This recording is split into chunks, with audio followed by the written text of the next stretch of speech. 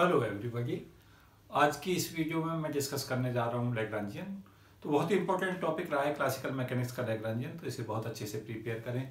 तो इस वीडियो में मैं डिस्कस कर रहा हूँ लेग्रांजियन सिस्टम्स के और बताना चाहूँगा कैसे हम लेग्रांजियन को कैलकुलेट करते हैं। तो कंपटीशन चाहे आप आई आई दे रहे हो, चाहे नेट और गेट एक बहुत इंपॉर्टेंट टॉपिक रहता है लेग्रांजियन तो लेग्रांजियन का एवोल्यूशन और लेग्रांजियन का किसी समय पे इक्वेशन ऑफ़ मोशन और लेग्रांजियन के एप्लीकेशंस ये तीन पार्ट्स में लेग्रांजियन को बहुत अच्छे से तैयार करके रखें। और लेग्रांजियन से जो हम किसी समय पे एनर्जी कंजर्वेशन या कौन सा पैरामीटर कंजर्व रहेगा, कौन सा नहीं रहेगा, उस टाइप की प्रॉब्लम्स बहुत आती हैं कंपटीशंस में तो उनको भी तैयार रखें। तो इस कड़ी में मैं जो पहली प्रॉब्लम डिस्कस कर रहा हूँ लेग्रांजियन की, वो बताता हूँ कि लेग्रांजियन जो होता है किसी समय पर वो टी माइनस वी होता है। काइनेटिक एनर्जी और पोटेंशियल एनर्जी का सम तो सिंपल पेंडुलम के लिए अगर हमें किसी समय पे लेग्रांजियन बताना है तो हम लिखेंगे टी माइनस वी में टी को काइनेटिक एनर्जी होती है और वी पोटेंशियल एनर्जी होती है. तो दो एनर्जियों का किसी समय पे जो डिफरेंस है काइनेटिक और पोटेंशियल एनर्जी का, उसे लेग्रांजियन कहते हैं. और लेग्रांजियन जो हमारा बेसिकली है, वो स्केलर क्वांटिटी होता है. और जो किसी समय पे बहुत सारे एडवांटेज लेग्रांजियन के साथ अटैच हैं, मैं एप्लीकेशन पार्ट में बताऊँगा. तो यहाँ पे सिंपल पेंडुलम में जो काइनेटिक एनर्जी है, वो half m x dot square होगी. और V half k x square होगा। तो सबसे जो आ, सबसे पहले हम किसी सिस्टम की काइनेटिक एनर्जी लिखते हैं और उसके बाद में पोटेंशियल एनर्जी लिखते हैं और उन दोनों का अंतर कर देते हैं। एक मैं कंसेप्चुअल चीज़ जो यहाँ आपसे डिस्कस करना चाहूँगा वो ये है कि किसी समय पे अगर दुनिया में सबसे इजी एवोल्यूशन है तो काइनेटिक एनर्जी का है। क्योंकि टी जो होती है किसी समय सिस्टम्स की वो हमें पता होती है। अगर पार्टिकल वन डायमेंशन में है एक्स डायरेक्शन में चल रहा है तो काइनेटिक एनर्जी हम लिखेंगे हाफ़ एम एक्स स्क्वायर अगर सपोज़ किया वो किसी समय पे एक्स वाई प्लेन में चल रहा है तो काइनेटिक एनर्जी लिखेंगे हाफ़ एम और ब्रैकेट में आएगा x dot square plus y dot square. और ये भी याद रखें कि x dot d x upon d t है और y dot d y upon d t है, जो वेलोसिटियों को रिप्रेजेंट करेंगे एक्स डायरेक्शन में और वाई डायरेक्शन में। अगर पार्टिकल तीनों डायरेक्शन में एक्स वाई जेड में किसी भी डायरेक्शन में जाने के लिए फ्री है, किसी भी प्लेन में जा सकता है एक्स वाई वाई जेड और जेड एक्स में, तब उसकी काइनेटिक एनर्जी टी को लिखते हैं हाफ़ एम और ब्रैकेट में लिखते हैं x dot square plus y dot square plus z dot square तो इजी है, किसी समय पे टी का एवोल्यूशन करना। और ये भी याद रखें कि डॉट जब भी मैं बोलूँगा तो उसका मतलब डेरिवेटिव होगा किसी समय पोजिशन का। जैसे एक्स डॉट कह रहा हूँ तो d x upon d t meaning है। वाई डॉट कह रहा हूँ तो d y upon d t meaning है उसका। और जेड डॉट कह रहा हूँ तो d z upon d t है। और d x upon d t velocity होगी एक्स डायरेक्शन में d y upon d t velocity होगी वाई डायरेक्शन में, और d z upon d t velocity होगी जेड डायरेक्शन में। तो ये जी कंसेप्ट है। उसके अलावा अगर हमारा कोऑर्डिनेट हमें स्पेरिकल कोऑर्डिनेट दे रखा है तो हम किसी समय पे काइनेटिक एनर्जी कैसे लिखें? तो उसके लिए हम क्या करते हैं? स्पेरिकल कोऑर्डिनेट में हमें पता है एक्स को लेते हैं r sine theta cos phi y को लेते हैं r sine theta sine phi और जेड को लिखते हैं आर कॉस थीटा तो जैसे हम एक्स डॉट और वाई डॉट और जेड डॉट उसकी वैल्यू एवोल्यूट करते हैं और उसे फिर half m x dot square plus y dot square plus z dot square में जो ब्रैकेट में टर्म आती है, उसमें रख देते हैं। तो टी की जो वैल्यू है किसी समय पे, वो हमें मिलती है किसी समय पे। इस केस में half m r dot square plus r square theta dot square plus r square sine square theta phi dot square यहाँ थीटा डॉट का मतलब d theta upon d t है फाइव डॉट का मतलब d phi upon d t है। और ये किसी समय पर पोटेंशियल एनर्जी होगी जो आर थीटा फाइव का फ़ंक्शन होगी। तो हम लेग्रांजियन यहाँ पे स्पेरिकल कोऑर्डिनेट में लिखते हैं काइनेटिक एनर्जी दिस वन और पोटेंशियल एनर्जी दिस वन ये हमारे पास किसी समय पे अगर किसी भी प्लेन में पार्टिकल कन्फाइंड हो रहा है और एक्स वाई जेड डायरेक्शन में, तब हमारा सिंपल लेग्रांजियन होता है कार्टिजियन कोऑर्डिनेट में। अगर सिलेंड्रिकल कोऑर्डिनेट में हमें चाहिए लेग्रांजियन किसी समय पे तो एक्स को आर कॉस थीटा वाई को आर साइन थीटा और जेड को आर कॉस थीटा लेते हैं। और फिर यहाँ से एक्स डॉट और वाई डॉट जेड डॉट की वैल्यू एवल्यूट करके इसमें पुट कर देते हैं। और वी यहाँ एक्स वाई जेड की जगह पर फ़ंक्शन हो जाता है आर थीटा और जेड का। तो यहाँ पे लेग्रांजियन होता है काइनेटिक एनर्जी हो जाती है। हाफ़ एम ब्रैकेट में r dot square plus r square theta dot square plus z dot square और ये पोटेंशियल एनर्जी हो जाती है जो आर थीटा जेड का फ़ंक्शन होती है। तो ये कार्टिजन केस के अंदर स्पेरिकल के अंदर सिलेंड्रिकल के अंदर हम सदा याद रखें। उसके अलावा एक मैं जो कंसेप्ट बात बताना चाहूँगा वो है कि जहाँ पे अगर आर की वैल्यू फिक्स रहती है स्पेरिकल कोऑर्डिनेट में तो आर फिक्स होने के बाद में आर डॉट की वैल्यू ज़ीरो हो जाती है। इस चीज़ को भी याद रखें। अगर पार्टिकल किसी समय पे आर थीटा का ही केवल फ़ंक्शन है तो ये वैल्यू कंपोनेंट जो इसका ज़ीरो हो जाता है तो ये वैल्यू फिर जो हमारे पास लेग्रांजन है, वो बन जाता है half m r dot square plus r square theta dot square और इस को इग्नोर कर देते हैं माइनस वी आर थीटा जैसा कि हम देखते हैं किसी समय पे इनवर्स स्क्वायर फोर्स में जब हमारी सन अर्थ सिस्टम को हम मोशन में लेकर चल रहे होते हैं, या किसी समय पे सोमरफील्ड मॉडल में लगाते हैं, वो कंसेप्ट यहाँ पे अप्लाई होता है। तो इन कंसेप्टों को क्लियर रखें। उसके अलावा किसी समय पे अगर कंपाउंड पेंडुलम में अगर हमें लेग्रांजियन पूछता है कंपाउंड पेंडुलम का क्या होगा तो हमें पता है कि कंपाउंड पेंडुलम में जो होती है किसी समय पे वो मोशंस रोटेशनल मोशन होती है तो वो रोटेशनल काइनेटिक एनर्जी का फॉर्मूला होता है half I theta dot square जहाँ आई मोमेंट ऑफ़ इनर्शिया होगा किसी समय पे, और थीटा डॉट की value d theta upon d t angular velocity होगी। और पोटेंशियल एनर्जी जो आ जाती है, वो आ जाती है हमारी minus m g l one minus cos theta ये भी याद रखें कि अगर हमें इसे किसी समय पे सिंपल पेंडुलम में बनाना है एंगल थीटा के करस्पॉन्डिंग ये सिंपल पेंडुलम किसी समय पे जो मोशन कर रहा होता है वो सिंपल पेंडुलम की दो तरीका की मोशन होती हैं। एक हमारे पास स्प्रिंग मोशन होती है। ये हमारे स्प्रिंग मोशन की फॉर्म है, जो हम इसमें लेकर चले हैं। लेकिन वो भी सिंपल पेंडुलम की तरह मोशन करता है। और ये सिंपल पेंडुलम अगर हम लेकर चल रहे होते हैं तो आई की वैल्यू को अगर थीटा की फॉर्म में लेकर आते हैं तो आई को हम लिख देते हैं एम एल स्क्वायर एल यहाँ पे लेंथ होती है किसी समय पे। तो ये हमारा एल बन जाता है हाफ़ आई की जगह पे जैसे हम रखेंगे m l square theta dot square minus m g l one minus cos theta साथ साथ ये भी रखें कि अगर हम किसी समय इस एम जी एल टर्म को नहीं लेते, सीधा वैल्यू जो पुट कर देते हैं वी की minus m g l cos theta तो उससे भी प्रॉब्लम्स को सॉल्व किया जा सकता है। तो इस चीज़ को याद रखें। उसके अलावा जो हमारा ये बेसिकली स्प्रिंग के केस के अंदर है टी और वी और ये हमारा कंपाउंड पेंडुलम हो गया, और आई बराबर एम एल स्क्वायर कर देंगे तो जनरली सिंपल वो हो जाएगा। तो अगर हम आई की वैल्यू को यहाँ पे रख देते हैं एम एल स्क्वायर तो ये सिंपल पेंडुलम जनरली जो एंगल थीटा का ओरिएंटेशन होता है, उसको कवर कर रहा होता है तो इस चीज़ को ध्यान रखें। Part moving under the central force है, सदा इंपॉर्टेंट टॉपिक है। तो सेंट्रल फोर्स में आठ दस बातें मैं आपको इंपॉर्टेंट डिस्कस कर देता हूँ। सेंट्रल फोर्स वो फोर्स होते हैं जो सेंटर ऑफ़ फोर्स की तरफ़ एक्ट करते हैं, या तो अवे या टू वार्ड्स आर के फ़ंक्शन होते हैं। इसमें जो एग्जाम्पल्स हैं, वो है हमारे gravitational force electrostatic force Van der Waals force motion under Hooke's law उसके अलावा ये भी याद रखें किसी समय पे कि जब पार्टिकल्स सेंट्रल फोर्स के अंदर मोशन करता है तो उसका टॉर्क ज़ीरो होता है। क्योंकि टॉर्क जैसे ही हम आर आर क्रॉस एफ़ लिखते हैं और एफ़ फ़ंक्शन आर का आता है तो आर क्रॉस आर जो है वो ज़ीरो हो जाता है, दो किसी समय पर क्रॉस प्रोडक्ट के कारण। तो टॉर्क ज़ीरो होता है एंगुलर मोमेंटम इसमें कंजर्व रहता है एनर्जी प्रोसेस के अंदर कंजर्व रहती है टू डिग्री ऑफ़ फ्रीडम होती हैं, ये सारे पॉइंट्स इसमें ज़रूर याद रखें। और लेग्रांजियन जब हम इसका लिख रहे होते हैं तो होता है टी माइनस वी और टी हमारा हो जाएगा हाफ़ एम और ये आ जाएगा r dot square plus r square theta dot square और वी जो आ जाता है किसी समय पे, वो आ जाता है माइनस के बाई आर तो ये प्लस के बाई आर आ जाएगा।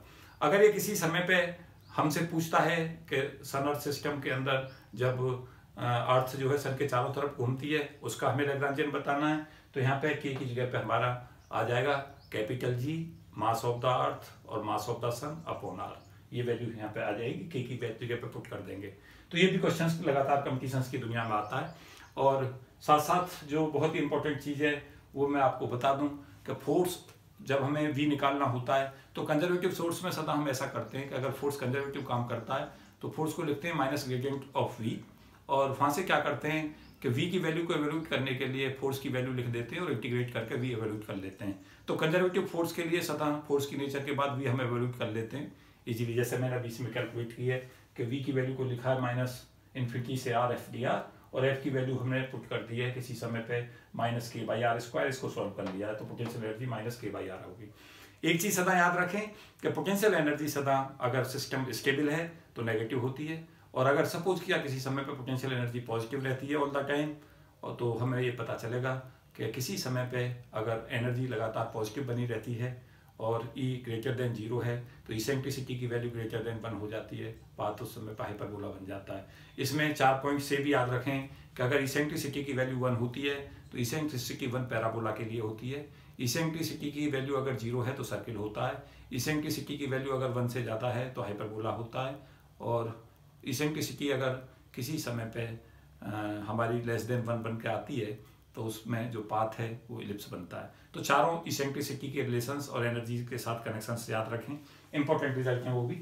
उसके अलावा particle moving on the surface of earth में ध्यान दें। आर फिक्स रहता है, क्योंकि जिस समय पे पार्टिकल सरफेस पे घूमेगा तो उसकी जो रेडियस आर रेडियस वेक्टर होगा, वो कैपिटल आर के बराबर हो जाएगा। और कैपिटल आर जो है, वो radius of the earth fix है। तो आर डॉट की वैल्यू यहाँ पे ज़ीरो हो जाएगी। तो हमारा लेग्रांजन बन जाएगा half m r square bracket में theta dot square plus sine square theta phi dot square, और ये वी आर थीटा फाइव का फ़ंक्शन होगा। इसको भी याद रखें। और ये कंसेप्ट जो हमने लिया है, वो यहाँ से अप्लाई किया है। इसी कंसेप्ट से हमने लिया है, केवल आर डॉट को ज़ीरो कर दें, अगर moving on the surface of the earth पूछता है। एलसी सर्किट में याद रखें कि अगर एलसी सर्किट का लेग्रांजन हमसे पूछता है तो हम लिखें T minus V magnetic energy सदा जो स्टोर होती है, वो इंडक्टर में होती है एलसी सर्किट के अंदर। और जो पोटेंशियल एनर्जी स्टोर होती है कैपेसिटर फॉर्म में। तो कैपेसिटर में किसी समय पोटेंशियल एनर्जी का स्टोरेज होना और किसी समय पे इंडक्टर के अंदर मैग्नेटिक एनर्जी के स्टोर से हम निकाल लेंगे। टी एम हो जाएगा हाफ़ एल आई स्क्वायर और आई को हमें पता है किसी समय पे हम आई को क्यू डॉट लिख सकते हैं d q upon d t तो ये आ जाएगा एल बराबर half L q dot square minus q square by two C C यहाँ पे कैपेसिटेंस होगा एल यहाँ पे इंडक्टेंस होगा। तो ये हमारा एल सी सर्किट का होता है किसी समय लेग्रांजियन अगर डम्बेल का पूछता है लेग्रांजियन तो ये एक्स वाई डायरेक्शन के अंदर दो पार्टिकल हम रख दें। जिनके बीच में जो सेपरेशन है, वो लेंथ एल का है। इसके मास एम वन यहाँ पे रखा हुआ है मास एम टू इधर है। और ये एंगल जो बना रहा है, इस डायरेक्शन से एंगल थीटा बनाता है। इसके coordinate x one y one है और इस पार्टिकल के एक्स टू वाई टू है। तो पहले हम क्या करें? लेग्रांजियन कैलकुलेट करने के लिए एक्स टू और एक्स वन में रिलेशन लिख दें। एक्स टू जो होगा किसी समय पर वो हो जाएगा एक्स वन जैसे यहाँ से हम देखेंगे, ये तो हमारी वैल्यू हो जाएगी यहाँ पे एक्स वन की और एक्स टू के लिए हमें यहाँ तक की डिस्टेंस चाहिए। तो जो एक्स वन है, उसमें हम ये डिस्टेंस अगर ऐड कर देंगे? एल कॉस थीटा तो एक्स टू आ जाएगा x one plus l cos theta इसी तरीका से जो ये डिस्टेंस है, यहाँ से यहाँ तक की ये वाई वन होगी, और ये हमारा जो बन जाएगा, वो आएगा एल साइन थीटा तो वाई टू की जगह पर हम लिख देंगे y one plus l sine theta जो हमने यहाँ लिखा है. उसके बाद हम क्या करेंगे? किसी समय पे इनका एक्स टू डॉट और वाई टू डॉट ले लेंगे तो एक्स टू डॉट की वैल्यू हो जाएगी एक्स वन डॉट माइनस इसका हम किसी समय पर डिफ्रेंसिएशन कर देंगे तो minus L sine theta theta dot ऐसे ही यहाँ पे ले लेंगे. वाई टू डॉट बराबर Y one dot plus L cos theta theta dot ये हमारा किसी समय पे एक्स टू डॉट और वाई टू डॉट की वैल्यू कैलकुलेट कर लेंगे। और टी लेने के लिए हम लिखेंगे kinetic energy half M one पहले इसकी काइनेटिक एनर्जी लिख दें। हाफ़ एम वन और ब्रैकेट में आ जाएगा X one dot square plus Y one dot square फिर इसकी लिख दें किसी समय पे यह आ जाएगा plus half M two X two dot square plus Y two dot square और पोटेंशियल एनर्जी जब हम इसको फ्रेम ऑफ़ रेफरेंस यहाँ से लेकर चलेंगे तो यहाँ एम जी होती है पोटेंशियल एनर्जी तो इसके लिए डिस्टेंस एच की जगह हो जाएगा वाई वन और इसके लिए जो हो जाएगा किसी समय पर वाई टू तो वी जो हो जाएगा वो M one G Y one इसकी पोटेंशियल एनर्जी और इसकी पोटेंशियल एनर्जी हो जाएगी M two G Y two दोनों पोटेंशियल एनर्जी का ऐड कर देंगे तो ये टी और भी हम इजीली लिख सकते हैं उसके बाद। ये एक्स टू और वाई एक्स वन जो एक्स टू और वाई टू की वैल्यू है, ये यहाँ पे एक्स वन और वाई वन के टर्म्स में पुट कर देंगे। तो ये हम इजीली लिख सकते हैं एक्स वन और एक्स टू के टर्म्स में इस एक्सप्रेशन को बना सकते हैं। और उसके बाद में जो उस पर अप्लाइड प्रॉब्लम आती हैं डम्बेल से क्वेश्चन आते रहते हैं, इसको बहुत अच्छे से कर लें। उसके बाद इक्वेशन ऑफ़ मोशन लिख लेंगे। तो अगर हमारा इक्वेशन ऑफ़ मोशन हमें सदा याद होनी चाहिए वो होती है डी ओवर डी टी और ब्रैकेट में del L upon del Q J dot minus del L upon del Q J बराबर ज़ीरो ये इक्वेशन ऑफ़ मोशन होती है लेग्रांजियन की और इस इक्वेशन को सदा याद रखें, जहाँ क्यू जे जो जनरलाइज कोऑर्डिनेट होता है। और जनरलाइज कोऑर्डिनेट अगर हम देखें तो जिस सिस्टम का कोई कॉन्फ़िगरेशन जब हम लिखते हैं तो जो सिस्टम को कम्प्लीटली डिस्क्राइब करता है, वो कॉर्डिनेट्स जो होते हैं, उन्हें हम जनरलाइज कॉर्डिनेट्स कहते हैं सिस्टम के। तो यहाँ पे अगर क्यूजे किसी समय पर लैग्रांजन में अपियर नहीं करता तो del L upon del Q J zero हो जाता है। कि if a coordinate does not appear in Lagrangian that particular coordinate is said to be cyclic coordinate this is the definition of cyclic coordinate तो अगर coordinate cyclic है Lagrangian में appear नहीं करता तो del L upon del Q J zero हो जाएगा। ये हमारे किसी समय पे जो हमारा एक्सप्रेशन है, वो पीजे होता है। इसको भी याद रखें जनरलाइज मोमेंटम इसको कहते हैं पीजे होता है del L upon del Q J dot ये भी याद रखें इंपॉर्टेंट एक्सप्रेशन है। तो ये D over D T P J बराबर ज़ीरो हो जाएगा यहाँ से, और पीजे कॉन्स्टेंट हो जाएगा। और इसका मतलब जनरलाइज मोमेंटम उस समय पर कंजर्व रहेगा। तो अगर कोई कोऑर्डिनेट किसी समय पर किसी एक्सप्रेशन में लेग्रांजन में अपेयर नहीं होता तो उस कोऑर्डिनेट को हम साइक्लिक कोऑर्डिनेट कहते हैं, और उसके करस्पॉन्डिंग जो है मोमेंट कंजर्व रहता है। जैसे हम एक एग्ज़ाम्पल में इसमें लेकर समझाई देता हूँ कि अगर हमारे पास में हम इसको में देख रहे हैं सरल सिस्टम में या किसी समय पे जब इलेक्ट्रिकल पाथ में मुसल होती है जब ये लेग्रांजियन यूज़ होता है सरल सिस्टम में और सोलर सोवरफील्ड पोर्टल में, जब न्यूक्लियस के चारों तरफ़ इलेक्ट्रॉन घूमता है या सन अर्थ सिस्टम में जब सन के चारों तरफ़ अर्थ घूमती है। तो यहाँ देखेंगे थीटा कॉर्डिनेट साइक्लिक है। थीटा अपियर नहीं कर रहा। जब कॉर्डिनेट थीटा साइक्लिक है अपियर नहीं कर रहा तो ये जो कॉर्डिनेट है उसके करस्पॉन्डिंग पी थीटा कॉन्स्टेंट होगा और पी थीटा जो होगा वहाँ एल को शो करेगा।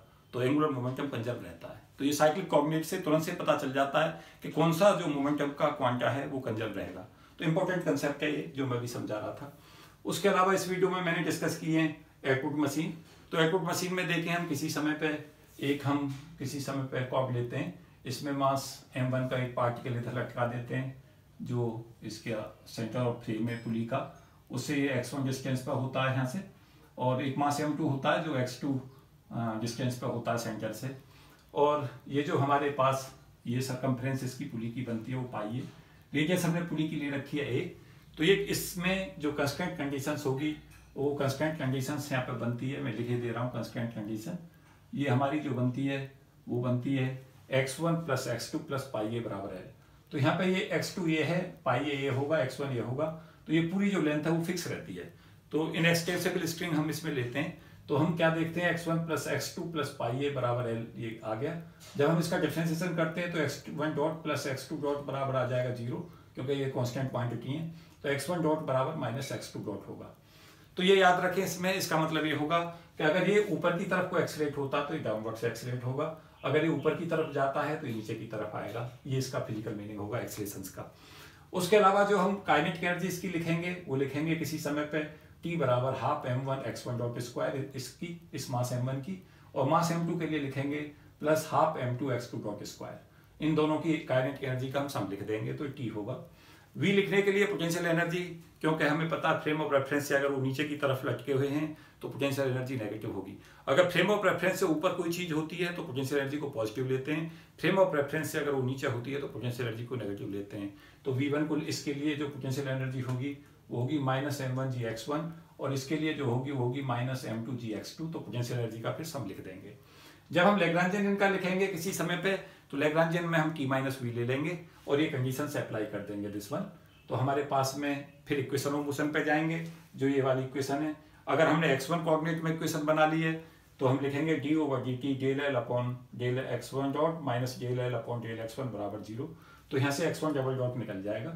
उसकी वैल्यू आएगी M one minus M two G ये ब्रैकेट में है पूरा into G upon M one plus M two ये पूरा ब्रैकेट में उसके बाद जी मल्टीप्लाई में है। तो इस एक्सप्रेशन को भी याद रखें। अगर हम किसी समय पे इसमें हम ये मान रहे हैं पुली रोटेट नहीं कर रही है तो रोटेशनल मोशन पुली की इग्नोर कर देंगे। अगर पुली की, पुली भी घूमती है किसी समय पे, ये फिक्स नहीं है। अगर ये रोटेट करती है तो इसकी रोटेशनल काइनेटिक एनर्जी इसके साथ अटैच हो जाएगी। और रोटेशनल काइनेटिक एनर्जी जो होगी, वो किसी समय पे मोमेंट ऑफ़ इनर्शिया के करस्पॉन्डिंग होगी। टी की वैल्यू को हम लिखते हैं half I into theta dot square तो थीटा वहाँ पे कोऑर्डिनेट होगा, जो रोटेट कर रहा है एंगल और आई होगा मोमेंट ऑफ़ इनर्शिया और अगर हम इसको सिलेंड्रिकल फॉर्म में जो बेसिकली पुली होती हैं तो आई उसका होता है हाफ़ एम आर स्क्वायर उसे पुट कर देंगे। तो यहाँ से फॉर्मूला आ जाएगा एक्स वन डबल डॉट का। M one minus M two bracket में G upon M one plus M two plus M P बटे टू इस पर भी क्वेश्चन आ सकता है। तो ये जब है जब पुली कंसीडर की जाए और किसी समय पर रोटेशनल काइनेटिक एनर्जी कंसीडर की जाए। उसके अलावा एक क्वेश्चन आता रहता है bead sliding on a uniform rotating wire ये भी कई बार आता है कंपटीशन की दुनिया में। तो इंपॉर्टेंट है, जब बीट स्लाइड करता है तो उसका एक्स वाई कोऑर्डिनेट होता है। X R cos theta Y R sine theta और थीटा होता है ओमेगा टी, क्योंकि ओमेगा की डेफिनेशन थीटा पॉइंट टी होती है। तो वहाँ से हम इसे ले लेते हैं। टी की जो वैल्यू है वो होगी हाफ़ एम और ब्रैकेट में आएगा R dot square plus R square theta dot square. Particle free की तरह रोटेट करता है उस पर कोई फोर्स ऑफ़ अट्रैक्शन रिपल्सन नहीं लगता तो वी को ज़ीरो कर देते हैं। इक्वेशन ऑफ़ मोशन में सॉल्व करते हैं तो आर डबल डॉट की वैल्यू आर ओमेगा स्क्वायर आती है, इसको भी याद कर लें। तो ये ये टी भी पूछ सकता है, और लेग्रांजियन पूछेगा तो केवल टी ही लिख दें। अगर इक्वेशन ऑफ़ मोशन के बाद सोल्यूशन पूछता है तो आर डबल डॉट बराबर ओमेगा स्क्वायर आर करते हैं। तो ये हमारे पास किसी समय पे जो सेंटीपिकल एक्सेसन है, उसके फॉर्मूले की तरफ़ अप्रोच कराता है। उसके अलावा एक डबल पेंडुलम की प्रॉब्लम्स है, इसे मैं मोस्ट मोस्ट इंपॉर्टेंट कर दे रहा हूँ, क्योंकि ये क्वेश्चन लगातार कंपटीशन में आता है। कई बार क्वेश्चन ये नेट में भी आ चुका है। तो इसको बहुत अच्छे से तैयार कर लें कि ये हमारा कोई पॉइंट है जिसके ऊपर एक किसी समय पेंडुलम बंधा हुआ है, जिसकी लेंथ एल वन है। एंगल थीटा वन बनाता है किसी समय पे। वर्टिकल से, ये हॉरिजेंटल डायरेक्शन ये वर्टिकल डायरेक्शन है, और ये मास एम वन इसके ऊपर यहाँ इस पॉइंट पे है। एक दूसरा किसी समय पे पेंडुलम है, जिसकी लेंथ एल टू है, उसके coordinate X two Y two है मास एम टू है यहाँ पे। और ये जो एंगल है, ये वर्टिकल से बनाता है एंगल थीटा टू तो थीटा वन और थीटा टू यहाँ वेरिएबल है किसी समय पर एल वन और एल टू जो है क्रम से लेंथ है? डबल पेंडुलम्स की। तो पहले हम क्या करते हैं? वाई वन वाई टू और एक्स वन और एक्स टू को L one L two theta one theta two के टर्म्स में लिख लेते हैं। तो वाई वन होगा हमारा L one cos theta one जैसे हम यहाँ से वैल्यू देखेंगे। वाई वन हमारा ये होगा, ये वाली डिस्टेंस ये एल वन है तो ये L one cos theta one हो जाएगी। तो इसे भी आप लिख सकते हैं, ये वाई वन हो गया। वाई टू हमारा यहाँ तक की डिस्टेंस होगी तो L one cos theta one ये था और L two cos theta two ये हो जाएगी, ये वाली डिस्टेंस तो इन दोनों को ऐड कर दें। तो वाई टू हो जाएगा L one cos theta one plus L two cos theta two अब अगर हम एक्स वन लिखना चाहते हैं तो एक्स वन हमारा यहाँ से आएगा। ये हमारी डिस्टेंस एक्स वन होगी L one sine theta one ये डिस्टेंस आपस में सेम होंगी।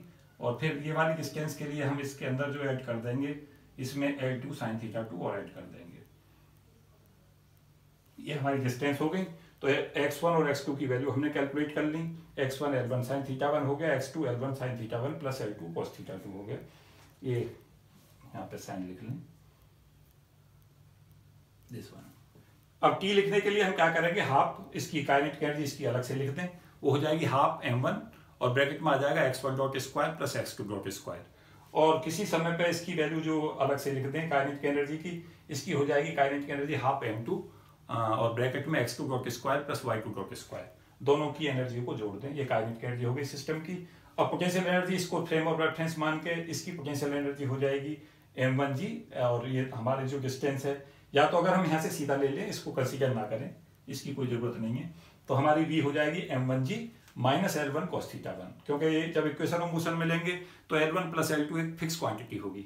तो वी को हम लिख दें सीधा M one G minus L one cos theta one और जब इसको पोटेंशियल एनर्जी को लिखें तो इसको लिख दें माइनस का एम टू जी और ये हमारा L one cos theta one plus L two cos theta two और इसमें जो मैंने एक्सप्रेशन यूज़ किया है वी बराबर जो हम यहाँ पे लेके चलेंगे, वो लेंगे minus M one G by one इसकी एनर्जी इसी समय पे पोटेंशियल एनर्जी और इसकी जो पोटेंशियल एनर्जी हो जाएगी वो हो जाएगी माइनस एम टू जी और ब्रैकेट में Y one plus Y two और वाई वन और वाई टू की वैल्यू यहाँ से पुट करते हैं। उसके बाद हमारे पास इक्वेशन ऑफ़ मोशन आ जाएँगी, क्योंकि जैसे ही हम लेग्रांजियन लिख पाएँगे तो हम याद रखें कि इक्वेशन ऑफ़ मोशन यहाँ पे आ जाएँगी। D over d t del L upon del theta one minus del L upon del theta one बराबर ज़ीरो और d over d t del bracket में del L upon del theta two dot minus del L upon del theta two बराबर zero तो वहाँ से हम equation of motion को evolute कर सकते हैं। तो इसको बहुत अच्छे से तैयार करके जाएँ डबल पेंडुलम को। इस पर क्वेश्चन आ चुके हैं कई बार नेट में, उन क्वेश्चनों को करके जाएँ। उसके अलावा एटूट मशीन को और इनको सबको देख लें एक बार। और सिंपल पेंडुलम के साथ में जो हमारी है, ये स्प्रिंग है, इसका भी देख लें किसी समय पे जो स्प्रिंग होती है, वो हार्मोनिक ऑसिलेटर की तरह कैसे वो रखती है। सिंपल पेंडुलम में कंपाउंड पेंडुलम को कैसे बदलते हैं, उसमें आई को एम एल स्क्वायर कैसे लेते हैं वी की वैल्यू को देख लें minus M G L cos theta apply कर देते हैं। उसको भी देखते जाएँ तो ये काफ़ी आपके लिए बेनिफिशियल रहेगी ये वीडियो कुछ अप्लाइड प्रॉब्लम्स में लैग्रांजियन पर और कराऊँगा, कुछ और जो क्वेश्चन हैं, थोड़े से उनके भी आइडिया दूँगा, कुछ कंसेप्चुअल चीज़ें भी आपको अगली वीडियो में देने वाला हूँ। तो देखते रहें और लेग्रांजियन को बहुत अच्छे से तैयार कर लें। तो इंपॉर्टेंट टॉपिक है, मैं उम्मीद कर रहा हूँ लेग्रांजियन हेमिल्टोनियन से निश्चित तौर से क्वेश्चन आपको मिलेगा। तो आप तैयार करके जाएँ बहुत अच्छे से इस टॉपिक को। आपको निश्चित तौर से इसका लाभ मिलेगा। तो इस वीडियो में केवल इतना ही। इस चैनल को सब्सक्राइब करते रहें और साथ साथ कमेंट बॉक्स में अपने कमेंट देते रहें और शेयर करते रहें वीडियो को और कोशिश करें कि इसका लाभ जो गाँव में और इंटीरियर इलाकों में और जो बच्चे कस्बों में और शहरों में रहते हैं लेकिन उन्हें गाइडेंस उपलब्ध नहीं है, उन तक इन वीडियो का पहुँचाने का प्रयास करते रहें, जिससे जो हम हार्ड वर्क कर रहे हैं उसका लाभ जो स्किलिंग स्टूडेंट्स हैं उन तक पहुँचाया जा सके और जो हमारा चैनल का ऑब्जेक्ट है वो पूरा हो सके। थैंक यू धन्यवाद।